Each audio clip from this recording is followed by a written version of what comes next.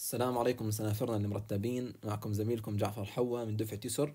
اليوم إن شاء الله بدنا نشرح ثاني محاضرة من محاضرات ال mitosis وهي المحاضرة الأخيرة في هذا ال chapter. فنبدأ بسم الله الرحمن الرحيم. اللهم لا سهل إلا ما جعلته سهلا وأنت تجعل الحزن إذا شئت سهلا. في المحاضرة الماضية إذا تتذكروا شرحنا موضوعين مهمات. الموضوع الأول شو هو ال mitosis؟ وأتوقع هسه معظمكم عارف شو يعني mitosis وإنه هو عبارة عن انقسام متساوي. يعني الخلايا اللي نتجت متشابهة تماما للخلية, للخلية الأم اللي كانت قبل الانقسام. متشابهة من عدد الكروموسومات متشابهة يعني في كل الصفات للخلية الرئيسية اللي انقسمت. تمام؟ وثاني موضوع شرحناه اللي هو موضوع بب بيب مات. الله يرحمك يا بيب. قد ساعدتنا وسهلت علينا المحاضرة الماضية. فاليوم إن شاء الله بدنا نشرح ثالث موضوع في هذا الشابتر وهو ال regulation لعملية يعني الانقسام يلي بتصير. يعني الخلية متى تدخل في الانقسام؟ شو الإشياء اللي بيساعدها إنها تدخل في هذا الانقسام؟ يعني اذا تتذكروا في المحاضرة الماضية حكينا عن ال cell cycle وحكينا إنه في عندنا G1 phase وفي عندنا G2 S phase و M phase وال M phase حكينا اللي بصير فيه أكثر يعني بصير في انقسام المادة الوراثية اللي سميناه ال mitosis. في عندك cytokinesis اللي كان انقسام السيتوبلازم وهذا الشيء ذكرناه كله في المحاضرة الماضية. طب هاي الخلية كيف أنت تعرف إنه أنا مثلا يعني متى بدي أوصل لل M phase متى بدي انتقل من ال G1 لل S متى بدي انتقل من ال S لل G2 إيه، فشو المسؤول أو شو الشيء اللي بينظم عملية الانقسام بشكل عام؟ فهذا هو موضوعنا اليوم. وفي آخر المحاضرة إن شاء الله راح نتطرق على يعني إذا صار في عندنا يعني بعض المشاكل في عمليات الانقسام يعني شو الإشي اللي ممكن يعني ينتج من هاي المشاكل؟ وأكثر إشي هو مشهور اللي هو ال cancer السرطان. هو أكثر إشي ممكن ينتج آه في إنه عدم انتظام انقسام الخلايا. راح نذكر هذا الموضوع في آخر المحاضرة إن شاء الله. ففي البداية خلينا نحكي عن موضوع ال regulation فال concept عنوانه The Eukaryotic Cell Cycle is regulated by Molecular Control System. تمام؟ في جزيئات معينة هي بتنظم عملية الانقسام لهذه الخلايا للخلايا بشكل عام. طيب the frequency of cell division varies with the type of cell. شو المقصود في هي الجملة؟ بشكل عام إحنا عندنا أكثر من نوع من الخلايا. في البداية خليني أحكي لكم يعني إحنا آه أنواع الأنسجة اللي بجسمنا هم أربعة أنسجة. يا إما ال epithelial tissue يا إما ال muscular tissue neural tissue أو ال connective tissue. تمام؟ اللي هم آه،. أنسجة خاصة للعضلات للأعصاب أنسجة الطلائيه اللي هي ال epithelial اللي بسموها اللي هي بتكون لكم مثلا يعني ال oral cavity يعني الفم عندنا إياه بشكل عام من جوا محاط الخد مثلا من الداير محاط في طبقات هي كلها epithelial cell بسموها. تمام؟ الأمعاء مثلا نفس الشيء محاطه في هاي الخلايا اللي هي ال epithelial cell هاي الخلايا بشكل عام عندها يعني سرعة انقسام. يعني كل سبع أيام تقريبا بتتجدد هاي الخلايا. فيعني سرعة انقسامها كان بيختلف عن باقي أنواع الخلايا. يعني هاي ال epithelial cell في الأمعاء بتنقسم يعني بسرعة عالية. يعني كل سبع أيام بتلاقي إنه الخلايا الموجودة في مثلا الأمعاء تغيرت. على العكس تماما مثلا خلايا العضلات ال skeletal muscle أو خلايا الأعصاب ال neuron بشكل عام. آه، هاي الخلايا ما عندها القدرة على الانقسام. يعني يعني هاي الخليه بتكون داخله ب phase اسمه ال G zero phase وهذا راح نحكي عنه هو يعني phase خلال ال cell cycle إذا الخليه ما عندها القدرة على الانقسام تدخل في هذا ال phase تمام؟ اللي هو ال G zero phase رح نتطرق عليه خلال المحاضرة. بس إنه كيف كان في عندنا فرق بين أنواع الخلايا؟ إنه خلايا عندها قدرة على الانقسام بشكل سريع وخلايا ما عندها قدره على الانقسام. برضه في عندنا إحنا مثلا البون خلايا العظام بشكل عام كل عشر سنين يعني هي معلومة لا يعني صراحة تفاجأت برضه أنا لما عرفتها. إنه العظام يعني كل عشر سنين يعني العظام الموجوده عندكم هسه مش نفسها اللي كانت موجودة قبل عشر سنين. يعني كل عشر سنين بتلاقي العظام تجددت طبعا بشكل تدريجي مش إنه مرة واحدة يعني. تمام؟ فسرعة انقسام الخلايا بتختلف حسب نوع الخلية. تمام. the differences result from regulation at the molecular level. برضه هي الجملة شو المقصود فيها. هسا ال molecular level المقصود فيه إنه على مستوى البروتينات وعلى مستوى ال DNA تمام؟ لداخل الخلية. يعني ال DNA داخل الخلية بيكون بترجم لنا بعض أنواع البروتينات. وهي البروتينات إذا ترجمت وصارت موجودة داخل السيتوبلازم راح تؤدي إلى إنه ترسل أوامر للخلية إنه ابدي مثلا عملية الانقسام. انتقلي مثلا من G2 آه، لل M phase انتقلي مثلا من G1 لل S. فهي العملية التنظيم تاعها بت... يعني بتم على مستوى إيش؟ ال molecular level عن طريق بروتينات معينة عن طريق برضه البروتينات كيف تصنعت عن طريق إنه اجت أوامر من ال DNA وصنعت لنا البروتينات. أنا من ضمن هاي البروتين البروتينات راح تمر معنا والإنزيمات. طبعا الإنزيم يعني هي أحد أنواع البروتينات تسمى إنزيمات. آه، فمن ضمنها عندنا راح يمر معنا خلال المحاضرة اللي هم ال CDK هم ال cyclic ال cyclin dependent kinase وال cyclin وال CKI تمام؟ هذول راح يمروا معنا خلال المحاضرة. CK ما راح يمر معنا كثير يعني بس إنه هو عكس ال CDK. تمام. آه ال cancer cell اللي هي الخلايا السرطانية. تمام. manage to escape the usual control of the cell cycle. يعني الخلايا السرطانية ال regulation هذا اللي بيصير في خلال ال cell cycle إنه مثلا أنا بدي أنتقل من phase ل phase عشان يصير انقسام في شيء معين بنظم هذا الانتقال عشان أ check على الخلية إنه أمورها تمامها جاهزة للانقسام. آه، في ال regulation هذا اللي بيصير يعني الخلايا السرطانية ما تستجيب له يعني تمام؟ ما بتتجاوب معاه يعني إنه بتصير انقسام بدون ما يصير لها regulation فعشان هيك بتلاقي إنه طلع لشخص معين مثلا ورم لأنه الانقسام عنده كان مش منظم. صار انقسام بدون تنظيم. خلاص الخليه ضلت تنقسم بدون ما يصير لها regulation ولا بأي طريقة. تمام. The cell cycle control system. The cell cycle appear to be driven by specific uh, signaling molecule present in cytoplasm. حكيت لكم إنه ال cell cycle ال regulation تاعها بينتقل مثلا من phase ل phase عن طريق إنه في عندنا signaling molecule زي مثلا ذكرناهم فوق اللي هم ال CDK وال cyclin هدول بيحفزوا إنه تنتقل من phase ل phase معين. تمام؟ Some evidence for these hypotheses come from experiments يعني عملوا تجربة معينة عشان يثبتوا هاي يعني النظرية إنه في عندنا cell cycle إحنا. Uh, فعملوا تجربة معينة. والتجربة كانت عن طريق إنه إحنا جبنا mammalian uh, cell اللي هي خلايا ثدييات ومن ضمنها طبعا خلايا ال human تمام؟ وجبنا الخلايا طبعا كانت في يعني يعني different phases. يعني مثلا خلية كانت بال S 1 في, في ال S phase وخلية كانت مثلا في ال G 2 phase تمام؟ يعني خلايا في أكثر من phase مختلف. والخلايا هي دمجناهم مع بعض. يعني حتى إنها صارت يعني خلية مع خلية دمجناهم مع بعض صارت خلية واحدة فيها نواتين تمام؟ بس في البداية الخلية هي كانت مثلا في S phase وهي الخلية كانت في ال G 2 phase تمام؟ أو أي يعني phase ين مختلفات عن بعض. بس لما دمجناهم أكيد بدهم يصيروا خلية واحدة في داخلها نواتين تمام؟ فبكمل لك تجربة إنه signals in the cytoplasm uh, of the fused cell caused both nuclei to enter the same phase. يعني لما إحنا جبنا خليتين الخليه الأولى كانت في ال S phase والخلية الثانية كانت في ال G 1 phase لما دمجناهم مع بعض ال signaling ال signaling molecule اللي موجودة مثلا في ال S phase هسه عشان إحنا ننتقل مثلا من G 1 ل S حكينا لازم يكون في عندنا آه، يعني بروتينات معينة تصنعت تمام؟ فال S الخلية اللي بال S phase عندها هي البروتينات بينما الخلية اللي بال G 1 phase ما عندها هي البروتينات. فإحنا لما جينا دمجنا الخليتين مع بعض صاروا الثنتين يعني نواتين بنفس السيتوبلازم هي النواة وهي النواة صاروا بنفس السيتوبلازم. يعني ال signaling molecule اللي كانوا بالخلية تاعت ال S phase صاروا أيضا في الخلية اللي فيها G 1 phase فأول ما دمجناهم مع بعض لقينا إنه الخليتين صاروا بنفس ال phase فهذا الإشي أثبت إنه يعني عشان أنتقل من phase ل phase لازم يكون في عندي signaling molecule بتساعد على هذا الانتقال. تمام. هاي ال cell cycle عشان تتذكروها على السريع. طبعا إحنا ال cell cycle حكينا عنها two phase. ال interphase وال mitotic phase. وال interphase حكينا الجي 1 والأس والجي 2 والميتوتيك حكينا عنهم ال mitosis وال cytokinesis أكيد أنتم هسه خلص عارفينهم. فالتجربه كانت كالتالي. آه خليتين. هي كانت في ال S phase وهي كانت في ال G 1 phase تمام؟ ال S phase هي خلص عندها مثلا ال DNA إحنا حكينا ال S شو بصير فيه؟ بصير عندك duplication لل genetic material بشكل عام تمام؟ فصار عندك duplicated chromosome بينما هون في ال G 1 لسه ما صار duplicated chromosome فلما دمجنا الخليتين مع بعض ما لقينا إلا الثنتين صاروا نفس ال phase S phase تمام؟ طيب آه، تجربة ثانية مثلا إنه عشان ما تحكوا ليش إنه مثلا بعد إنه هذا الشيء منطق إنه بعد ال G 1 راح يجيك ال S يعني ما لهاش دخل يمكن إنه في signaling molecule طيب هي هون طلع الفرق هي ب G 1 بينما هي في ال M phase يعني في قدامها S وفي قدامها ال G 2 بعدين بتروح على ال M بينما لما إجينا دمجنا الخليتين مع بعض لقينا إنه الخلية اللي بال G 1 مباشرة صارت في إيش؟ في ال mitotic phase يعني حتى أكبر دليل إنه ما لحقت تعمل انه ما مرت في ال S phase انه ما عملت duplication لل DNA أو duplication لل genetic material فكانت عبارة عن إيش؟ non duplicated chromosome طلعوه هي في ال M phase إحنا متعودين إنه ال M phase يكون duplicated chromosome بينما هون كانت non duplicated chromosome فال signaling molecule يلي كانوا في الخلية الأولى اللي هي في الوضع الطبيعي كانت في ال M phase عندها signaling molecule لما دمجنا الخليتين مع بعض signaling molecule اللي بودوها لل M phase حولوا ال G 1 مباشرة لل M phase تمام؟ تمام. طيب. ف molecule present in cytoplasm control to progression to S and ال M phase إنه ال G 1 صار S وال G 1 صار M phase تمام؟ حسب signaling molecule الموجودات.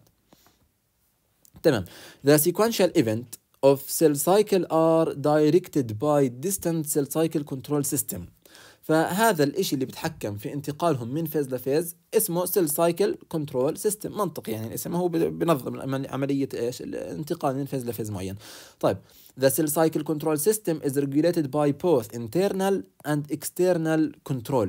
يعني شو يعني internal أو external control يعني الخلية ممكن تبعث لك إشارة من داخلها تمام؟ إنه أنا مثلا خلاص يعني هاي الخلية بدها تبعث إشارة من داخلها إنه خلاص أنا عملت duplication لل chromosome فأنا جاهز إني أنتقل مثلا لل G 2 تمام؟ فهي اسمها internal إيش؟ internal signal برضه في عندنا إيش؟ ال external control external control يعني مثلا نوع من الخلايا. أجاء أمر عن طريق هرمون معين إيه مثلا هرمون النمو راح على نوع من أنواع الخلايا. قال للخلية هي خلص أنت انقسمي. فهي بنسميها external control تمام؟ أو internal control حكيت لكم كيف. تمام. clock has specific check point تمام؟ check point where the cell cycle stop until a go ahead signal is received. شو يعني؟ يعني شايفين ال cell cycle هي أنا عشان أنتقل من G 1 لل S أو من ال S لل G 2 أو من G 2 لل M لل M phase في عندي check point نقطة تفتيش. يعني إحنا حكينا إنه من ال G 1 لل S phase شو كان يصير عندنا؟ كان يصير إنه الخلية بتكبر آه ال organelles كمان بتتكون بشكل أفضل يعني. فعشان أنا أنقلها من G 1 ل S بدي أشيك إنه خلص أمورها كانت تمام هون فبيكون في عندي هون check point تمام؟ نفس الشيء أنا عشان بدي أنقلها مثلا من ال G 2 آه لل M phase بيكون في عندي G 2 check check point تمام؟ إنه خلص أنا عندي مثلا المادة الوراثية آه عملت duplication أمورها جاهزة لأنها تدخل على ال mitotic phase في عندي check point ونفس الشيء في ال M phase في عندي برضو M check point رح نشوفهم. هيهم فعندنا إحنا G 1 check point هدول نقاط تفتيش. تمام؟ يعني خلال ال G 1 أنا بشيك على الخليه هل أمورها تمام من ناحية مثلا نمو ال organelles الماده الوراثية تاعتها؟ في mutation ما في mutation يعني طفرات في ال في ال DNA هل قاعد تنمو بشكل طبيعي ولا لا؟ تمام؟ فهذا ب G1 phase عندنا G1 checkpoint في عندك كمان ال G2 checkpoint وفي كمان ال M checkpoint تمام؟ طبعا إذا صار أي خلل في هذول إذا تذكروا في بدايه المحاضرة حكيت لكم في شيء اسمه ال G zero phase إنه حكيت لكم مثلا الأعصاب العضلات الخلايا العضليه داخلة في هذا ال G zero phase اللي هو إنه الخلية ما بتنقسم تمام؟ إذا لقينا أي خلل في الخلية يا إما إنه بيصير لها يعني بتموت الخلية أو إنها بتدخل في phase اسمه ال G zero phase يعني خلص هون stop يعني بتوقف عن الانقسام تمام؟ فهم ثلاثة نقاط تفتيش. G1 و G2 و M check checkpoint تمام. the cell cycle clock طبعا clock إنه يعني شكلها هي يعني دائرية بتبدأ وتنتهي تمام؟ يعني طلعوا G1 S G2 M ترجع. G1 S نفس الش... نفس الفكرة إنه الخلايا تتجدد. طيب cyclin and cyclin dependent kinase تمام؟ شو يعني هدول هدول عبارة عن بروتينين تمام؟ موجودات داخل الخلية. تم تصنيعهم خلال ال cell cycle لما يتوفروا هذول البروتينين في تركيز معين ويكون تركيزهم عالي تمام؟ بيأدوا لانتقال الخلية من phase ل phase تمام؟ تمام. الأول اسمه ال cyclin والثاني اسمه ال cyclin dependent kinase يعني عبارة عن إنزيم kinase والإنزيم هذا من اسمه cyclin dependent شو يعني؟ يعني هذا ال kinase ما بيشتغل إلا بوجود ال cyclin يعني بيعتمد على ال cyclin فاسمه cyclin dependent kinase تمام؟ يعني لو سألتكم سؤال أنا في عندي ال CDK اللي هو ال cyclin dependent kinase بس ما عندي ال cyclin هل تتوقعوا هذا ال cyclin dependent kinase راح يشتغل؟ أكيد لا. ما هو من اسمه يعني cyclin dependent kinase يعني أنا kinase شغلي بيعتمد على وجود ال cyclin تمام؟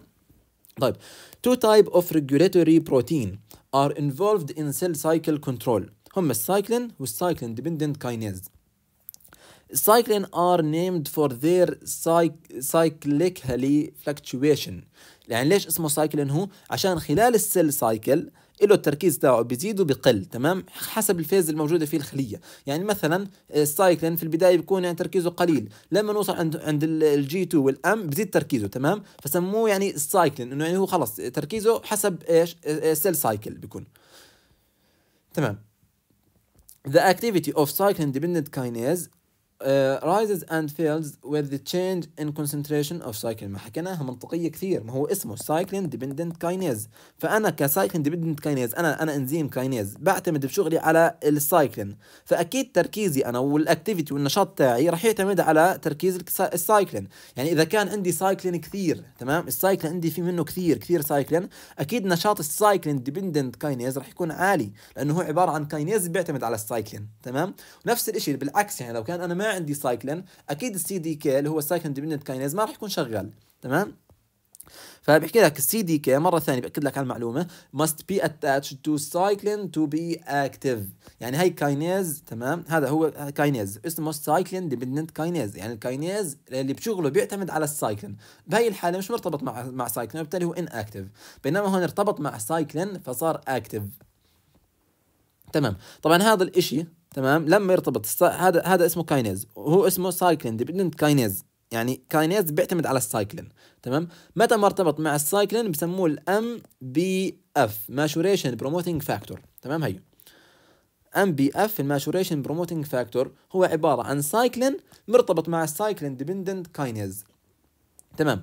وهذا الإشي لما يكون موجود في خلال ال cell cycle بحفز انتقال الخلية من ال G2 لل M لل M phase. يعني لو سألتكم سؤال متى بيكون تركيز ال cyclin عالي؟ أو متى بيكون تركيز ال MPF عالي؟ تمام؟ مع العلم إنه سؤالين نفس الإشي لأنه وجود ال cyclin أكيد راح يكون لك ال MPF. تمام؟ ولما أحكي لك هاي المعلومة إنه وجود ال cyclin راح يكون لك MPF بدك تعرف إنه ال CDK ال cyclin dependent kinase cyclin dependent kinase هو دائما موجود في الخليه ترى. في جميع ال phases تاعون الخليه بيكون موجود في ال cell cycle بيكون موجود عندك cyclin dependent kinase بس يلي بتغير هو ال cyclin تمام؟ يعني تركيز ال cyclin هو اللي بتغير اللي بتغير فبيؤدي إلى تغير الايش ال MPF أما ال cyclin dependent kinase دائما موجود. تمام؟ فتركيز ال MPF وتركيز ال cyclin أعلى شيء راح يكونوا متى؟ في آخر ال G2 وبداية ال M phase تمام؟ في هدول المنطقتين في هدول المرحلتين. عشان هو أصلا وجوده بحفز انتقال الخلية أو بيساعد في انتقال الخلية من ال G2 لل M phase يعني شوفوا هون أنتم هاي الخلية. عندكم هون ال G1 phase ال G ال S phase ال G2 phase طلعوا. CDK اللي هو cyclin dependent kinase دائما كان موجود تمام؟ بس إنه inactive ليش inactive لأنه اسمه cyclin dependent kinase يعني ال kinase اللي بيعتمد على وجود ال cyclin في هذول الثلاث مراحل يعني لهون ل يعني لبداية ال G2 phase عندي ال cyclin ما كان موجود. يعني في الجي 2 والام آخر الجي 2 مع بداية ال M ال cyclin بلش يتصنع. أيوه خلص بلش يتصنع ال cyclin في ال G2 تمام؟ هي بلش. cyclin accumulation بلش يتجمع عندي ال cyclin. فلما زاد تركيز ال cyclin أكيد راح يروح يرتبط مع ال cyclin dependent kinase ويكون لنا إيش؟ ال maturation promoting factor ال MPF ومتى ما تكون هذا ال maturation promoting factor راح يحفز انتقال الخلية من ال G2 لل M عن طريق ال G2 checkpoint خلاص هي انتقلت تمام؟ هسه بعد هيك راح يرجع يتكسر مرة ثانية ال cyclin ويضل ال CDK لحاله. فطلعوا في ال M phase يعني هذا اللون النهدي هو عبارة عن ال cyclin اللون النهدي هو ال cyclin. طلعوا متى ما زاد ال cyclin زاد معاه ال MPF اللي هو اللون البرتقالي. طيب أه حكينا هون ال peak peaks of MPF ال MPF مرة ثانية شو هو؟ هو عبارة عن ال CDK مع ال cyclin ارتبطوا مع بعض. يعني يعني أعلى تركيز له راح يكون أعلى تركيز لل cyclin. طب ال MPF act both as kinase ما هو اسمه أصلا شو هذا اسمه؟ cyclin dependent kinase. هسا إنزيم شوفوا إحنا بشكل عام الإنزيمات الانزيمات هي بشكل عام أحد أنواع البروتينات تمام؟ يعني من ضمن البروتينات في عندنا شيء اسمه؟ إنزيم. بس الإنزيم إنه بيكون داخل أنتم عارفين في تفاعل معين تمام؟ فبسموه إنزيم. فإنزيمات ال kinase بنتهوا في أسمائهم ب kinase يعني وظيفتهم يعملوا آه، يضيفوا مجموعة فوسفات على مثلا مركب معين. يعني هذا مش مطلوب منكم بس أنتم عشان تعرفوها معلومة عامة. إنه ال kinase إنه بيضيف مجموعة فوسفات على مركب معين تمام؟ فبيحكي لك هون إنه ال MPF اللي هو أصلا عبارة عن cyclin مع cyclin dependent kinase تمام؟ هو بنفسه بيشتغل ك kinase أو إنه عن طريق indirect بيكون بي activate لي انزيم ثاني بيشتغل بدور kinase تمام؟ يعني يا إما هو نفسه هو أصلا kinase تمام؟ يا إما بي activate لك آه، مجموعة معينة أو إنه بيروح بشغل لك إنزيم ثاني والإنزيم هذا له دور kinase إنه بيعمل phosphorylation لمثلا مادة معينة. تمام؟ هاي مرة ثانية CDK ما هذا اسمه ال MPF وهون شرحناهم هذول فهمتوهم. تمام. هسه نحكي عن موضوع stop and go signal اللي هم internal and external signal at the check point تمام؟ هل ال checkpoint هي مثلا بدي أمر عليها أنا هون تمام؟ هل بدها تعطيني مثلا stop signal إنه خلص أنا أوقف الانقسام تاعي أموري مش تمام ما في أكمل انقسام؟ أو خلص يلا أهلا وسهلا go ahead امشي. إنه أمورك تمام وكمل انقسامك تمام؟ طيب many signal registered at checkpoint come from cellular surveillance mechanism within the cell checkpoint also uh, register signal from outside the cell. عشان حكيت لكم إياهم قبل شوي إنه مثلا آه، أمور المادة الوراثية ال genetic material داخل الخلية خلص صار لها مثلا duplication هذا بيسموه internal signal يعني من داخل الخلية طلع أمر إنه خلص كمل انقسام أو إنه مثلا هرمون معين بيساعد على النمو على انقسام الخلايا طلع وكان external خارج الخلية ادى إلى انقسام هذه الخلية. طيب و 3 important checkpoint حكيناهم ال G1 وال G2 وال M phase طيب for many cells the G1 checkpoint uh, seems to be the most important. يعني أهم أهم checkpoint من هذول الثلاثة هي ال G1 حتى بيحكي لك إنه متى ما أخذنا إحنا إشارة ال go ahead إنه خلص أكمل انقسام من ال G1 على الأغلب على الأغلب على الأغلب راح أمشي عن G2 راح أمشي عن ال M ما راح يصير عندي أي مشكلة. فأهم وحده هي ال G1 خلص متى ما أخذتها أنا خلص 90% راح أكمل الأمور وأعمل خلص mitosis تمام؟ If the cell does not receive uh, the go ahead signal it will exit the cycle. تمام؟ يعني إذا ما أخذت ال go ahead إنه خلاص أمورك تمام وامشي بالانقسام وما عليك أي مشكلة يعني أعطيتك الضوء الأخضر خلاص كمل. آه إذا ما أعطيتك الضوء الأخضر خلاص أنت رح تطلع من هاي ال cell cycle ورح تدخل في phase non-dividing state بيكون بنسميه ال G zero phase تمام؟ زي هيك طلع؟ يعني هون الخلية عندك عندنا ال G1 checkpoint تمام؟ وهي أهم وحدة حكينا ومتى ما عديناها على الأغلب حنعدي الباقيات. تمام؟ ف ما أخذ هون ما أخذ ال go ahead خلاص stop ما في signal فبنوديه على phase بنسميه G zero phase تمام؟ بينما هون خلص أخذ ال go ahead signal ضوء أخضر ضله ماشي. هون هذا الحكي كان في ال G1 phase مثلا آه، في ال M phase ال M phase أنا عشان أ check على الأمور آه، أهم شيء أهم شيء في ال M phase إنه ما يصير في عندي آه، مشكلة في انقسام الكروموسومات هي أهم نقطة.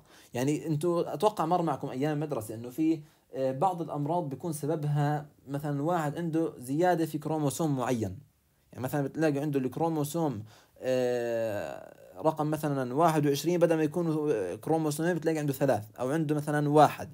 فهي بتكون سبب إنه مشكلة في انقسام الكروموسوم. طب شو سبب انقسام الكروموسوم؟ إذا بتتذكروا إحنا في المحاضرة الماضية بال anaphase ال anaphase دي كان لابس بوط وفي سهم بالنص تذكرتوه كان يصير في عندك حركة هاي الكروموسوم تمام؟ إنه واحد يتحرك لكل جهة تمام؟ عن طريق إنه ال mitotic spindle يسحبوهم تمام؟ طب لو حكيت لكم إنه ال mitotic spindle شابك بس من جهة واحدة مثلا ال mitotic spindle يعني هي كروموسوم تمام؟ mitotic spindle شابك من هي الجهة عم يسحب لهي الجهة بس بينما هون ما في mitotic spindle عندي. شو تتوقعوا؟ تتوقعوا إنه الكروموسوم هذا كله يروح على خلية وما يروح على خلية ثانية، في الخلية اللي تحت ناقصة كروموسوم راح تكون والخلية اللي فوق راح يكون فيها كروموسوم مش طبيعي عشان duplicated راح يكون مش normal. فهي صار نتجت عندي مرض. طب مين اللي بشيك هذا هي الحالة؟ اللي هي ال M. ال M checkpoint تمام؟ فهون شوف الخليه إذا دقيقين هذا الكروموسوم ماسك ال mitotic spindle بس من جهة واحدة. يعني من هون من تحت مش ماسك ال mitotic spindle. فأعطوه هون stop إيش؟ signal وما كمل ال cell cycle يعني هذا الإشي الحمد لله جد إنه موجود. تخيل إنه مش موجود. متى ما صار عندك طفرة معينة غلط معين في الانقسام راح يكمل ال cell cycle وتنقسم الخلية ويصير في عندنا abnormal cell في جسمنا تؤدي لمرض معين بدون أي مثلا ما شيء يوقفها. تخيل كم راح يكون في عندك كم أمراض منتشر. تمام. بينما هون كان كل الأمور كل الأمور انقسام تمام. طلعوا كل هاي آه، في ال metaphase عندك كل شيء شابك مع الكروموسوم بال anaphase انفصلت الأمور تمام فمشيت الأمور كلياتها واعطاه إشارة go ahead وكمل ال cell cycle فإحنا هيك صرنا حاكيين عن نقطتين. النقطة الأولى آه، أو ثلاث نقاط كمان ثلاثة checkpoint حكينا عنهم.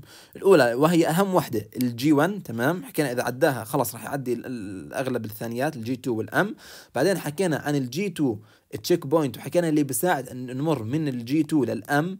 عن طريق ال G2 checkpoint وهو وجود ال MPF وال MPF حكينا هو عبارة عن ال cyclin مع ال cyclin dependent kinase تمام؟ وجود هدول الاثنين مع بعض بيساعدني إنه أنا أمر من ال G من ال G2 لل M phase عن طريق ال G2 checkpoint وآخر شيء إنه أنا أمر من ال M phase بدي أ check على إيش؟ على إنه كل الكروموسومات تمام؟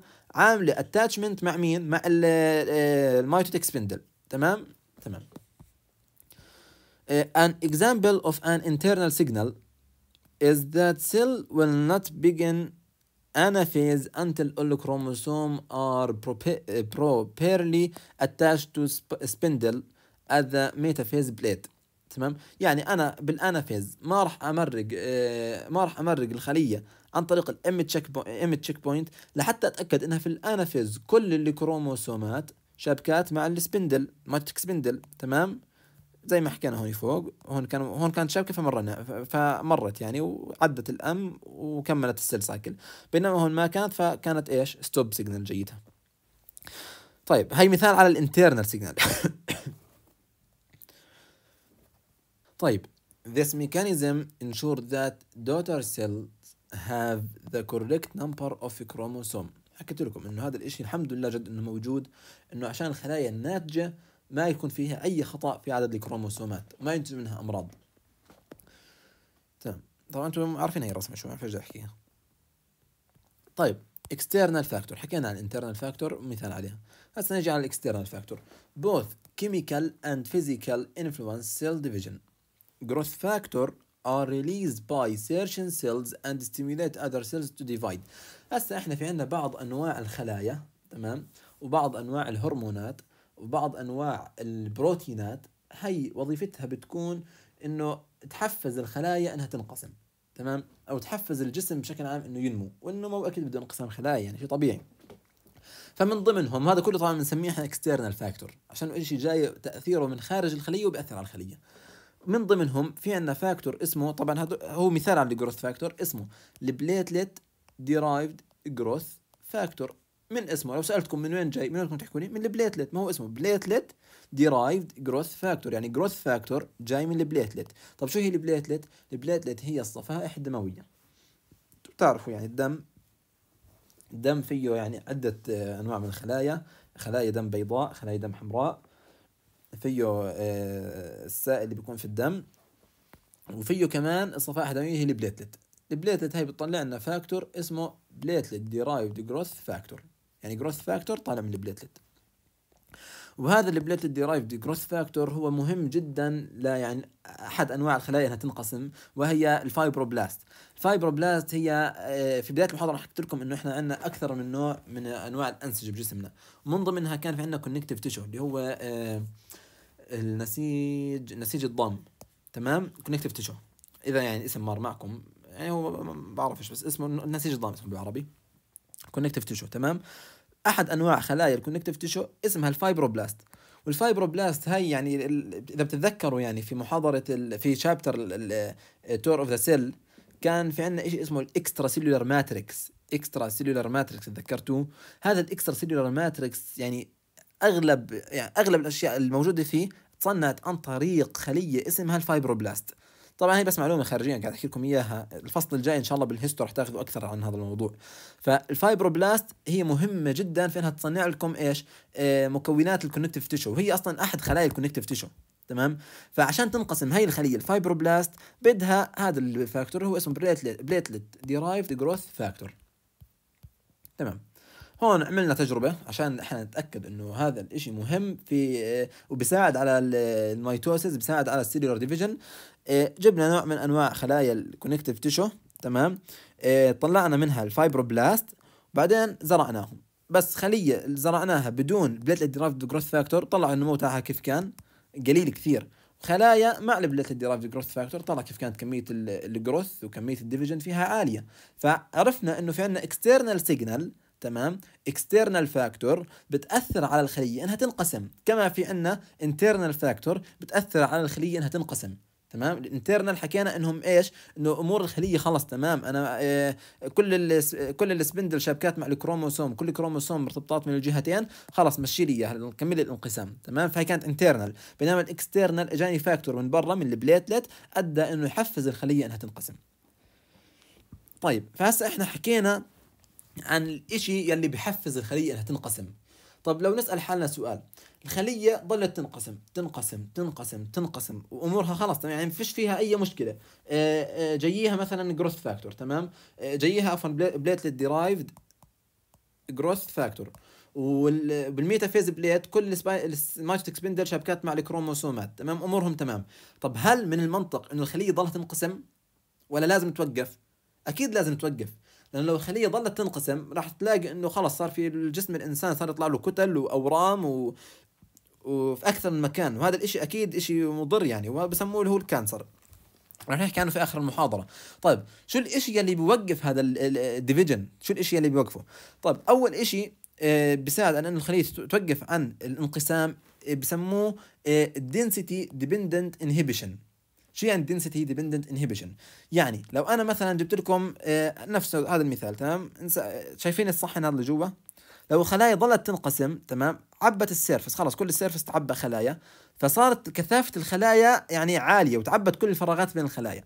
فالخلايا عندها يعني إحساس بهذا الإشي عن طريق طبعا إشارات معينة خلاص وقف لي ال division بطل بدي growth أنا تمام؟ آه، فهذا الإشي بوقف عنه الخلية خلاص توقف عن الانقسام. ف crowded cells إنه يعني تزاحم الخلايا مع بعضها راح يؤدي إلى إنه ال dividing يوقف. خلاص stop dividing تمام؟ آه، والشغلة الثانية برضو عشان الخلايا تنقسم يعني مستحيل تلاقي خلية انقسمت يعني آه، بالهواء هيك مش على surface لازم الخلية تكون على surface عشان تنقسم. ف most animal cell also exhibit anchorage dependence to divide. يعني ما في خلية بتنقسم إلا موجودة على surface تمام؟ تمام. فالشيء اللي بيوقف الخلايا عن الانقسام اللي هو ال density تاع الخلايا تمام؟ يعني الخلايا خلاص تكثفت بطل في عندنا فراغات بين الخلايا وقف لي الانقسام تمام؟ بتجي إشارة للخلية إنه وقف الانقسام. بينما مثلا الخلية آه، موجودة على surface تنقسم جاي على مثلا anchorage هي بسموها ال anchorage dependence يعني إنه الخلية لازم تكون على surface معين عشان تنقسم. آه، they must be attached to آه، a substratum تمام؟ اللي هو surface معين لازم تنقسم عليه. يعني ما في خلية مثلا تنقسم هيك في الهواء. لازم تكون يعني في تحتيها surface معين عشان تنقسم. فال density dependent inhibition وال anchorage dependence check the growth of cell at an optimal density تمام؟ تمام. يعني الخلايا بتضلها تنقسم لطريقتين. متى بتوقف؟ يا إما خلاص صار فيه تزاحم معين وال density صارت عالية وقف لي الانقسام يا إما ضليتني أنقسم لحتى بطل في عندي surface أنا حوالي أنقسم عليه فوقف لي الانقسام. خلاص. بينما ال cancer cell هي الخلايا الخلايا السرطانية ال cancer cells exhibit neither type of regulation of their division. يعني لا بتشت... لا بتجاوب لهذا ال regulation pathway ولا لهذا ال regulation pathway تمام؟ يعني قد ما كانت ال density عندها عالية ال cancer cell ما راح توقف عن الانقسام. راح تضلها تنقسم تنقسم تنقسم عشان هيك بيطلع اللي عنده cancer بيطلع له ورم. بيطلع له بيطلع أورام. الخلايا بتضلها تنقسم تنقسم تمام؟ وبتنقسم برضه الخلايا حتى لو ما عندها surface يعني فهمتوا كيف؟ ليش ال cancer cell يعني خلايا خطيرة؟ يعني خلايا ما بتوقف عن الانقسام. تمام. يعني هون في عندنا مثال. هون الخلايا بلشت تنقسم. عشانها جاية على surface هي في تحتيها surface وبلشت الخلايا تنقسم. هاي بسموها ال anchorage dependence ال cell require a surface for division تمام؟ هون ال density dependent inhibition الخلايا ظلت تنقسم لحتى شايفين بطل في عندكم فراغات بين الخلايا. التزاحم بين الخلايا صار عالي وبطل في فراغات بين الخلايا فخلص الانقسام وقف تمام؟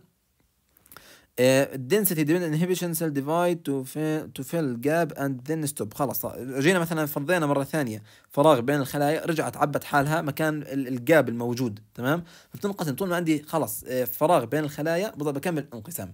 بينما ال cancer cell طلعوا كيف ال density عالية والخلايا فوق بعضها وشكلها أبصر كيف مؤذي طلع شكلها غريب أصلا كمان cancer cell يعني ما في شيء وقف لها ال division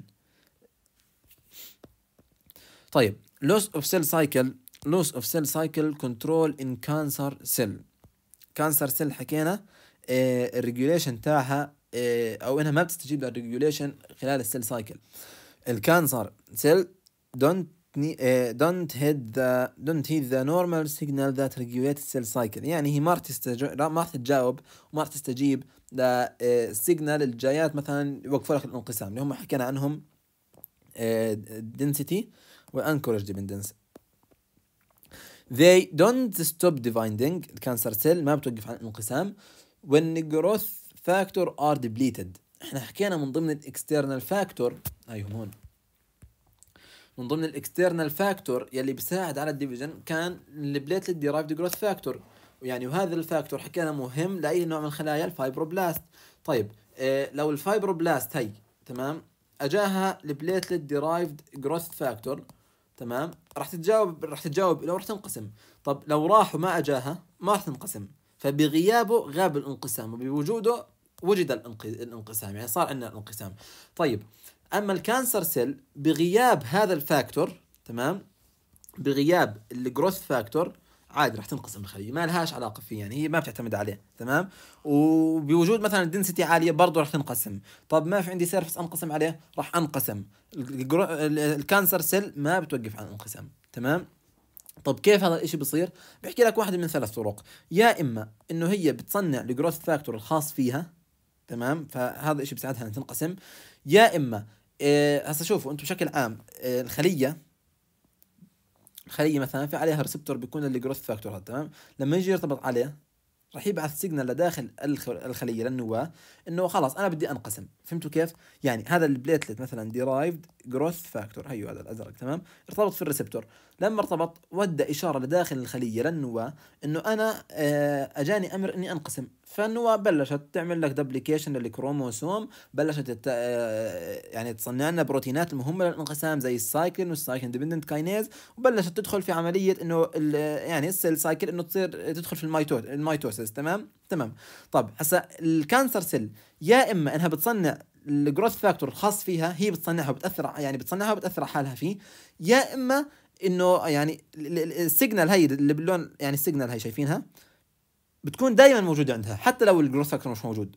فيا إما بتصنع ال growth factor الخاص فيها يا إما ال signal دائما موجود عندها وبالتالي الانقسام راح يضل موجود.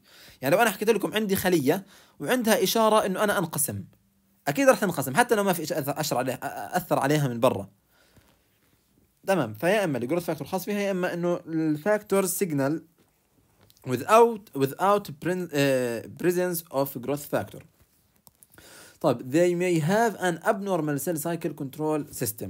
برضه من ضمن الطرق إنه ال cancer cell بتنقسم ودائما تضلها تنقسم إنها ممكن يكون في عندها abnormal control system يعني ال cyclin وال cyclin dependent kinase يمكن دائما عندها إياه عالي يعني إذا لاحظتوا أنتم فوق هون. بس خلصنا انقسام. شو صار بال cyclin؟ تكسر تمام؟ يمكن ال cancer cell آه، يضل موجود عندها وترجع مرة ثانية تخش mitotic phase تنقسم مرة ثالثة ورابعه ضلت تنقسم للأبد. ضلت تنقسم خليه زي هيك. فهي ثلاث طرق اللي عن طريقها الخلية السرطانية آه، بضلها تنقسم. ال growth factor خاص فيها عندها اياه ال factor signal بضل موجود أو إنه ال control system عندها اياه abnormal طيب normal cell is converted to cancer cell by presence uh, uh, لا ثواني a normal cell is converted to a can cancerous cell by a process called transformation آه ال transformation من اسمها transformation يعني هي عملية تحول الخلية انها تكون normal لا انها تصير خلية إيش cancer cell بسموها عملية transformation طيب ال cancer cells that are uh, not eliminated by immune system form tumor masses abnormal masses of abnormal cell ال tumor شو هو ال tumor هو نفسه ال cancer تمام؟ عبارة عن masses of abnormal cell within otherwise normal tissue. شو يعني؟ بشكل عام إحنا جهازنا المناعي الجهاز المناعي بتعرف على أي شيء غريب داخل جسم الإنسان بحاول يدمره ويتخلص منه تمام؟ فلو خلية معينة مثلا بطريقة يعني صار في عندنا خطأ معين في نموها في انقسامها أدى إلى إنه ينتج عندي خلية فيها غلط معين تمام؟ هذا الغلط راح يجي يتعرف عليه جهازنا المناعي وراح راح يروح يدمر هذا النوع من الخلايا تمام؟ لكن إذا صار في عندي مثلا cancer cell وال cancer cell هي جهازنا المناعي ما تعرف عليها تمام؟ وما قدر يقتلها الخلية هي راح تضلها تتكاثر. وتتكاثر وتنقسم تمام؟ لحتى تكون لك آه، كتلة masses تمام؟ هذا هو ال tumor. بتكون لك masses of abnormal cell خلايا بتكون غير طبيعية. ليش غير طبيعية؟ قدرتها على الانقسام بتكون هائلة تمام؟ فبتكون لك masses. وال mass هذا بيكون موجود في normal tissue يعني بتلاقي مثلا واحد عنده ورم مثلا آه، مثلا أورام عنده في إيده بسبب انقسام آه، نوع معين من الخلايا. أورام بأي مكان ثاني من جسمه في normal tissue يعني النسيج طبيعي بيكون لكن فيه ورم الورم هذا مكون من خلايا غير طبيعية تمام؟ وال cancer بشكل عام آه، هو نوعين السرطان بشكل عام بنقسم لنوعين آه، البي 9 اللي هو بسموه الحميد ال benign tumor اللي هو الحميد أو إنه ال malignant tumor اللي هو الخبيث تمام؟ نوعين. وشو الفرق بين النوعين؟ ومتى بنحكي عن ال tumor إنه benign إنه حميد؟ ومتى بنحكي عن ال benign أو إنه ال tumor آه، عفوا متى بنحكي عن ال tumor إنه benign ومتى بنحكي عن ال tumor إنه malignant malignant يعني إنه اللي هو الخبيث تمام؟ هسا بشكل عام الخلايا آه، لما تكون cancer cell وظلها تعمل انقسام انقسام في مكانها تمام؟ ما تنتقل لمكان ثاني على الأغلب هي بتكون benign tumor تمام؟ بتكون بي 9 اللي هو الحميد. وعلاجها خلاص مجرد ما انت شلت هذا الكتلة عملت لها استئصال أو عملت لها مثلا آه، عن طريق علاج أشعي بإشعاعات معينة يعني آه، ودمرت هي الخلايا خلاص ما راح يرجع هذا ال tumor مرة ثانية. لأنه لساته في مكانه ما انتقل لأي مكان ثاني. تمام؟ فهذا بسموه ال benign ال benign most benign tumor don't cause serious problem تمام؟ dependent depending on their location طيب يعني الخلايا هي لما بلشت انقسام اللي هي ال cancer cell ال abnormal cell طبعا بلشت انقسام في نسيج معين تمام؟ مثلا طلع cancer آه، مثلا في في الأمعاء تمام؟ وهذا ال cancer آه، بلش ينمو لساته في الأمعاء في جدار الأمعاء. نتخيل إنه هاي الأمعاء هيك الامعاء تخيلوها تمام؟ وداخل الأمعاء بلش ينمو هذا ال cancer تمام؟ من خلايا هي epithelial cell خلايا هي بتكون برضه موجودة في الأمعاء تمام؟ بلش ينمو هذا ال cancer خليه خليه خليه خليه وكون لي mass كتله معينه تمام؟ إذا هي ال mass ضلت في مكانها وما انتقلت لأي مكان ثاني لسه بنسميها بي 9 اللي هو اللي هو الحميد benign tumor تمام؟ ومتى ما شلت أنا هاي القطعة خلص هيك أنا حليت المشكلة تمام؟ لكن إذا طولت مع الوقت تمام؟ وهذا ال cancer. والخلايا راح تعمل invasion راح تعمل invasion شو يعني invasion يعني الخلايا تحتيها بيكون في basement membrane تمام؟ شايفين هذا الخط الأسود تحت الخلايا بسموه ال basement membrane هذا ال basement membrane بيفصل لنا الخلايا اللي فوق عن مثلا الأوعية الدموية اللي بتكون تحت تمام؟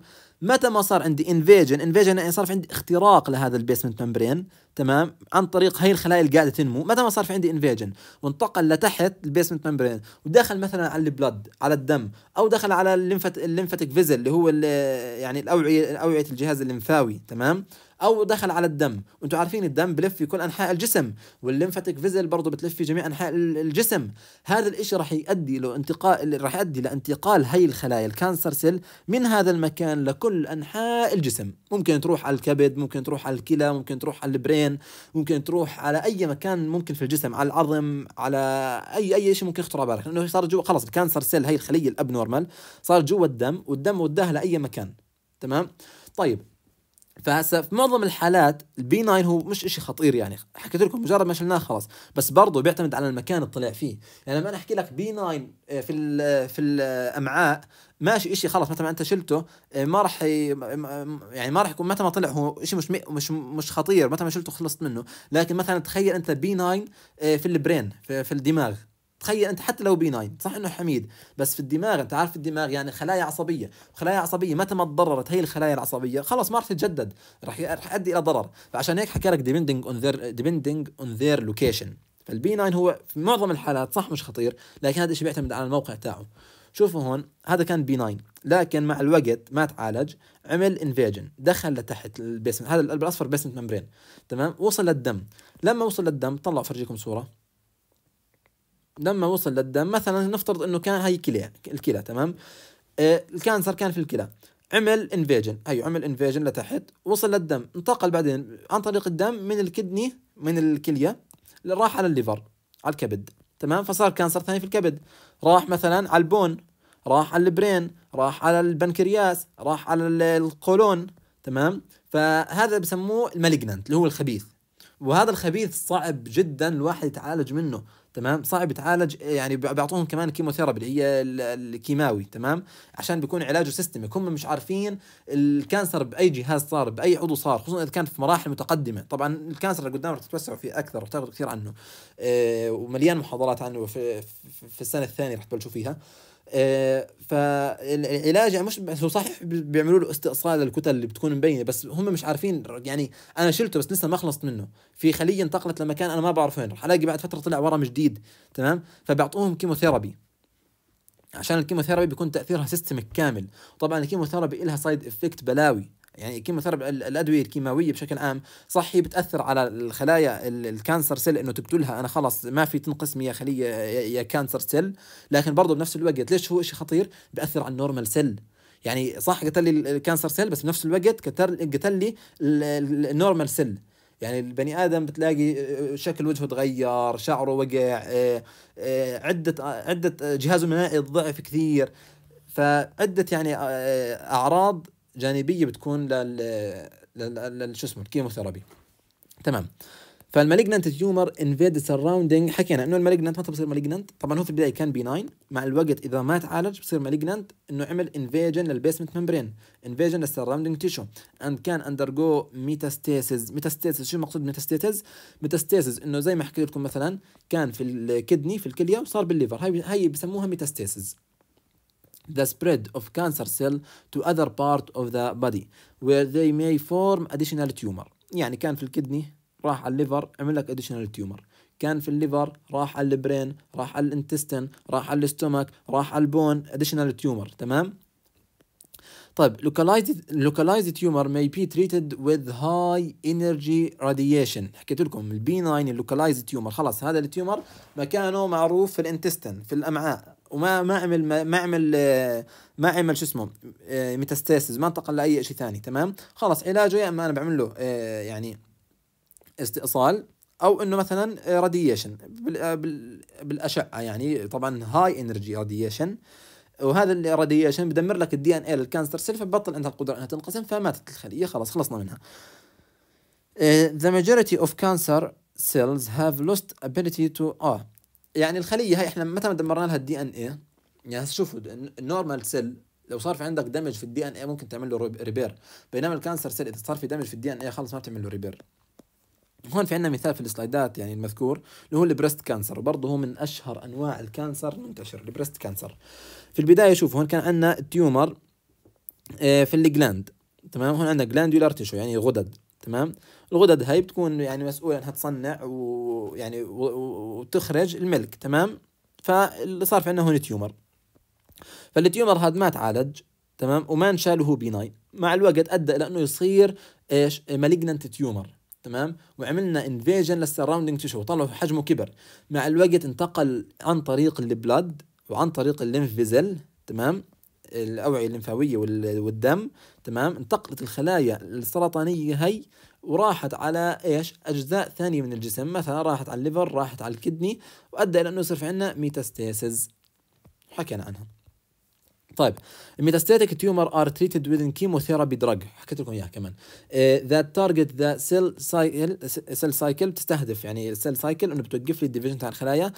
side effect of chemotherapy are due to the effect of the drug on normal cell هذا الشيء الخطير في ال chemotherapy إنه ال normal cell برضه تأذت يعني. طيب that divide frequently تمام. Recent advance in understanding the cell cycle and cell cycle and cell cycle signaling have lead to advance in cancer treatment.